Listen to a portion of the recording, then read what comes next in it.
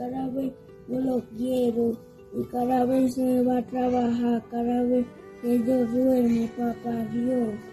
Por favor, mándame papá, mándame, porque mi hermanita quiere verlo. Por favor, mándame, y yo lo quiero mucho, y tengo muchos años que no lo veo, papá Dios. Por favor, llévame, papá, que yo te quiero mucho. Favor, papá Dios, pisito, pero que no control, pero mándamelo, papá Dios. Pero él ya desapareció, papá Dios, me lo puede, eh, me lo puede revivir, porque yo no lo mu- porque yo no lo voy a dar mucho. Me puede ver todo mucho, papá Dios, por favor.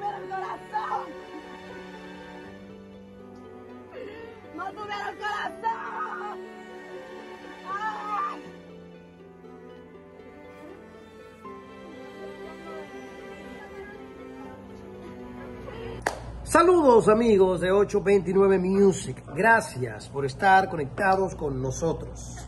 Situación que vivimos y vemos estos días. La pareja de esposos desaparecidos en la Guayiga, aún, aún, aunque encontraron el día de ayer, el día lunes, exactamente el día lunes, encontraron dos cuerpos dentro de una cisterna o dentro de un pozo séptico que se presume pueden ser estos esta pareja aún a este momento la o el Instituto Nacional de Ciencias Forenses INACIF no ha identificado los cuerpos o no ha dicho que los cuerpos corresponden a esta pareja. Esta pareja que encontró el INACIF, que encontraron los, los de la defensa civil, bomberos, estos cuerpos de ayuda y socorro que siempre están disponibles y dispuestos. Señores que habían sido reportados desaparecidos desde, desde el 23 de enero. Desde el 23 de enero, reportados desaparecidos, encuentran dos cuerpos. Todavía el INASIF no dice si son o no son ellos, pero lo fuerte de esto es que antes de entrarlo ahí, aparentemente, según se ven los cuerpos, habían sido Dios mío. nunca vio un comportamiento descompuesto. Siempre se mantuvo eh, ella, nunca vio una llamada extraña, nunca vio salidera, eh, que ella pudieran sospechar cualquier cosa. No, ella lamentablemente pues este, fue una víctima de, de- de- de- de lo que podemos de la situación. Y lo realmente yo no sabía tanto de él, no sé tanto de él. Eh, ¿Tenían mucho tiempo de relación ellos dos? aproximadamente un año. Cuando usted dice que ella fue una víctima, ¿qué usted se refiere? Digo, una víctima eh, porque una era una niña prácticamente inocente. Al verse envuelta en esta situación, tal vez entró sin darse cuenta en qué estaba, en qué mundo estaba entrando y a estas personas le habían hecho muchísimas cosas. Después entonces lo tiraron a este pozo que dicho sea de peso lo habían sellado con cemento. Sellado como que el hedor, al final de cuentas el hedor va a ser que lo encuentren. Pero los cuerpos se encontraron en estado de putrefacción en horas de la tarde del lunes. Esto fue en el municipio de Los Alcarrizos, exactamente en Villa Progreso, detrás del Marcelino Vélez. O sea, no, es algo, no estamos hablando de algo distante donde no vive gente, porque por el lugar vive gente. Se presume, todavía no se ha confirmado, que se trata de los cuerpos de Luis Manuel Jaques Rodríguez o Luis Miguel Jaques Rodríguez y Elizabeth Amarante Pacheco. La comunidad está muy consternada con estos dos jóvenes desaparecidos.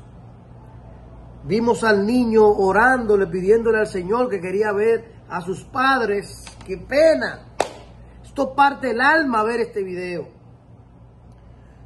Lamentablemente, según lo que dicen algunos de los vecinos, estos muchachos, estos jóvenes, eran jóvenes de bien y parece que el amor al dinero los desvió. Es lo que dice la gente en la comunidad, no lo digo yo, porque vemos los noticiarios, vemos todo lo que dicen, escuchamos lo que hablan y analizamos. Lo extraño de esto es que estas personas lo, lo, lo que se llevaron fue un televisor de la casa, como para decir que un robo, hicieron un desorden. Lo que dejaron, más de 100 mil pesos. ¿Qué más dejaron? Muchísimas tarjetas que aparentemente era, digo aparentemente porque no sé, aparentemente era a lo que se estaban dedicando esta pareja. Y es penoso que tengamos que escuchar de esto, es penoso que tengamos que ver estos casos a esta altura del juego así, hablarlo con tanto miedo, porque no sabemos. Esto está en investigación. Después de prácticamente dos semanas y pico de búsqueda, encuentran el vehículo o un vehículo que se presumía que era este, en una Hyundai Tucson color gris. Van a donde la rentaron, buscan la persona que la rentaron. Aparentemente esta misma persona fue quien lo llevó. Y miren ustedes, miren cómo hablan estas personas, cómo se expresan, cómo la gente dice cosas que todavía está en dudas. Todavía se duda, todavía la gente cree, todavía la gente piensa, pero señores, los cuerpos, no es poco lo que ha vivido esta familia, ¿eh? no es poco lo que ha vivido.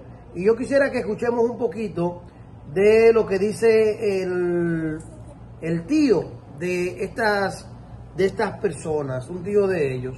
Vamos a escucharlo, a ver, vamos a ver. Y lo realmente yo no sabía tanto de él, no sé tanto de él. ¿Tenían somos mucho tiempo de relación ellos dos? aproximadamente un año. Cuando usted dice que ella fue una víctima, ¿a qué usted se refiere? Digo, una víctima eh, porque una era una niña prácticamente inocente. Al verse envuelta en esta situación, tal vez entró sin darse cuenta en qué estaba, en qué mundo estaba entrando y Bueno, y ustedes escucharon un poquito ahí de lo que dice el tío de ella, que dicho sea de paso es eh, José Castellanos, quien es regidor de La Guayiga. Qué pena, qué penoso esto que está pasando esta familia. Es doloroso imaginar que todavía hay tantas dudas. Y ahí están las cosas. Los cuerpos maltrataron a esta muchacha muchísimo, a él también, y ahora el tío dice como que el, el culpable de todo esto es el, el esposo de la muchacha. Eso es el tío que lo dice. Él le está echando toda la culpa a este hombre. Usted dice que ella se vio envuelta en esto sin saber en lo que Claro, estaba. porque ¿A era qué su se pareja, refiere? perdón, era su pareja y ella se, se vio envuelta en esta situación. Pero cuando usted dice en esta situación, ¿a qué específicamente se refiere? Bueno, en la desaparición de ella eh, viene por la relación de ellos. Yo no pude, no puedo decir más nada aparte de las cosas que ha dicho la policía. ¿Por qué?